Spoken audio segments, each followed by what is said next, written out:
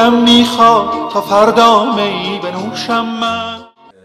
من جعفر نامدار هستم حدود 25 ساله که در آمریکا زندگی می‌کنم.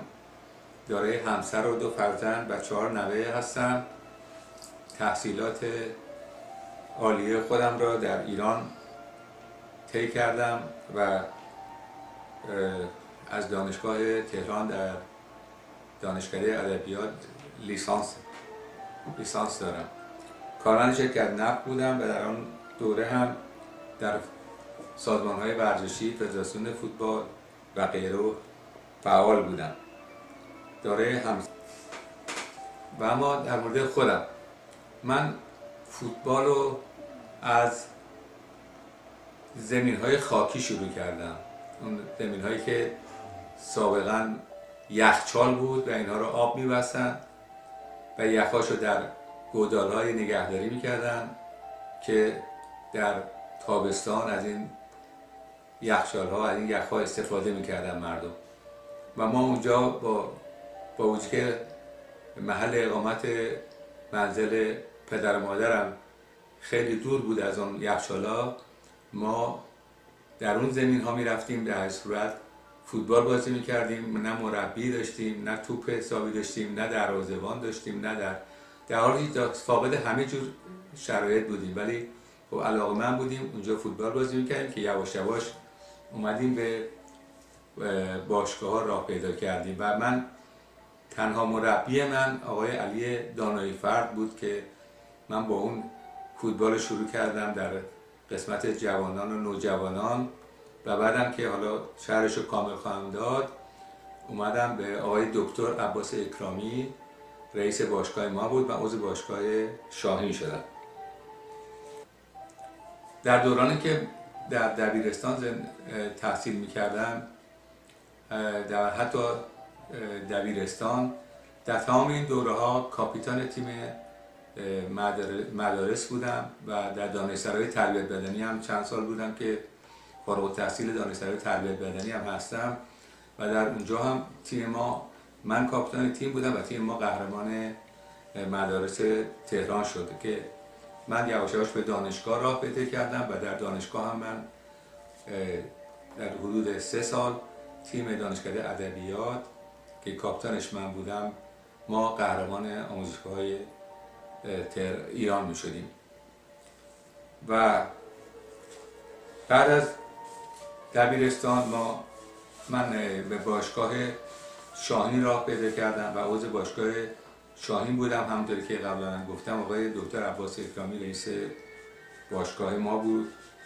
و در حال ما با تیم شاهین چندین بار قهرمان باشگاه های ایران شدیم. تیم شاهین تیم بود که در حقیقت مردمی بود. تمام بازیکن ها بازیکن های تحصیل کرده و در در حال شرایط بسیار خوبی بودن و به تیم ملی راه پیدا کردم و در تیم ملی من بک راست بازی می‌کردم و همراه تیم ملی به المپیک آسیایی در 1958 توکیو رفتیم و باز هم در مسابقات مقدماتی نهایی جام ملت‌های آسیا هم به هندوستان رفتیم همراه تیم ملی و به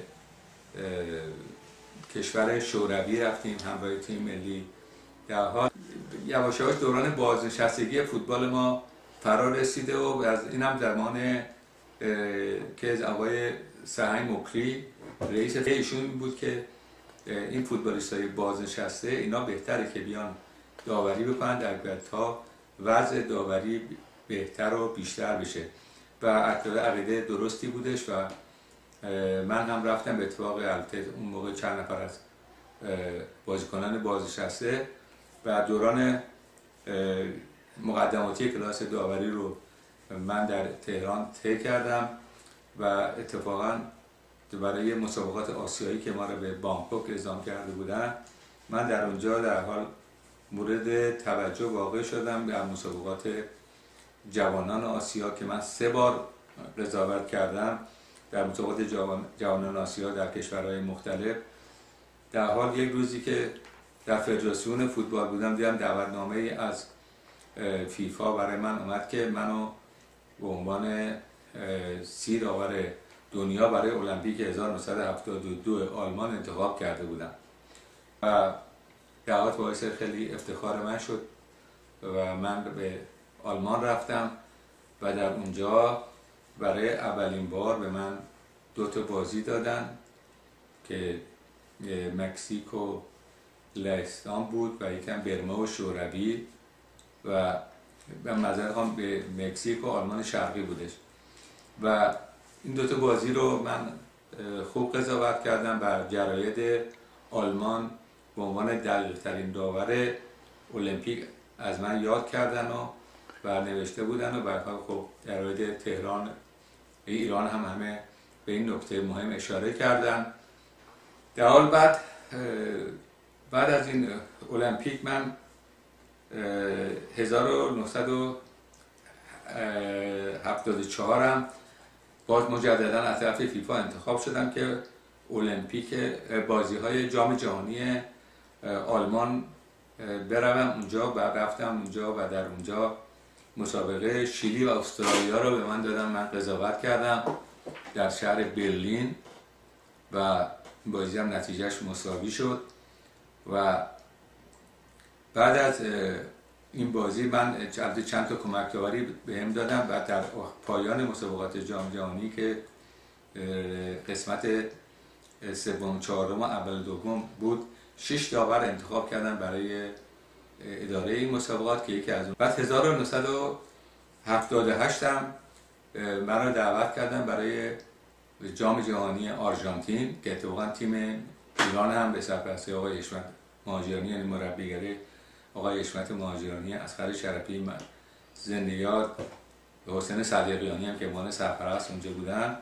من هم اونجا قضاوت مسابقه فرانسه و گواتمالا رو قضاوت کردم. به چون موقع داورایی که خود من مسابقات جوانان آسیا رو سه بار قضاوت کردم و من باز هم مثلا بر فیفا انتخاب کردم من که مسابقات نهایی ارتش های جهان رو در سوریه و در بغداد قضاوت کنیم. در اونجا هم آقای محسن زمانی سر و سامنی داشتش اون ورزش فوتبال در ایران اون زمان بهترین فدراسیونی که در قبل از انقلاب و بعد از انقلاب بوده فقط اون آقای کامبیز آتابای بود دوشنگ دیدبان بود و تمام کسایی که اونجا کار می‌کردن یعنی در رشته های مختلف مثلا مثل کمیته آموزش، کمیته داوری، کمیته جوانان اینا تمام کسایی در رأسش بودن که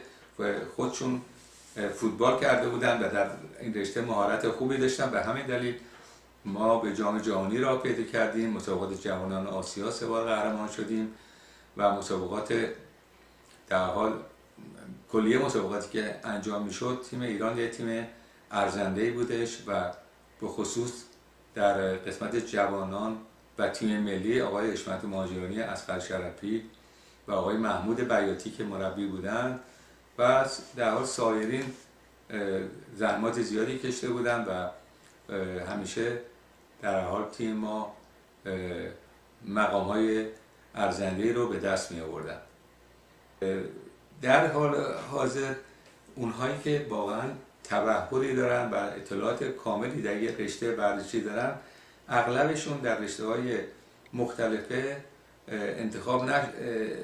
انتخاب نشدن. یعنی اون جای حقیقی خودشون اون کسایی که تبهر دارن و مهارت دارن اونا جای خودشون رو نگرفتن به یا بهشون داده نشده. و کسانی بیشتر این به مقام ها رو استفاده می‌کنن که اطلاعات کمتری دارن. به همین دلیل خب مشکلات زیادی به وجود اومده و این مشکلات چه در سطح فوتبال چه در سطح داوری اینها زمان زیادی می‌خواد که مرتفع بشه در این مدت زمان زیادی که هم بهش اشاره می‌کنم در صورتی است که کسانی که به اصطلاح این کاره هستن به کار گرفته بشن. وقتی که این کار نباشن خب مشکلات زیاد هستش و کما اینکه الان نگاه می‌کنیم که مشکلاتی در مورد مسائل روابط خارجی هستش یا داورا هستش و سالیان سالی که داورای ما نرفتن به المپیک یا جام جهانی اینا راه پیدا نکردن. یا مثلا چون این وسایل اونجا اون موقع امکانات هم خب استادیوم ساخته شده بود مثل استادیوم آریامه که حالا آزادی اونو خطاب می‌کنن. و امیدواریم از به اصطلاح این قبیل استادیوم ها در تمام شهرستان ها تاسیس بشه از این داشته باشیم. دیگه الان در حال حاضر فیفا کنفرانسیون آسیا اینا تیم هایی رو می‌ذارن در مسابقات باشگاه آسیا و غیر شرکت بکنن که دارای این امکانات باشن. اگه امکانات نباشه در حال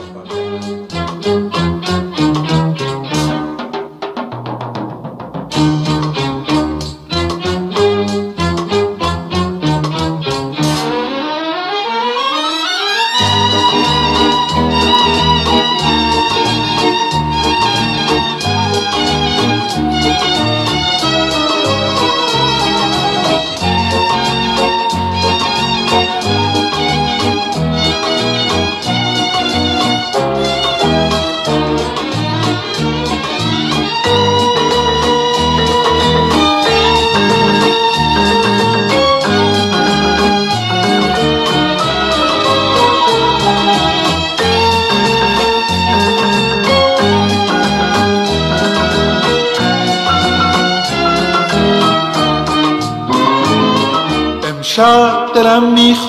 تا فردا می بنوشم من.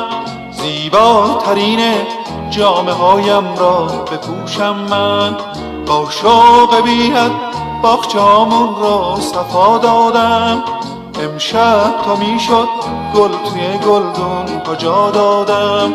بعد از جدایی ها آن بی وفایی ها فردا تو می آیی فردا تو می آیی بعد از گسستن ها آن دل شکستن ها فردا تو می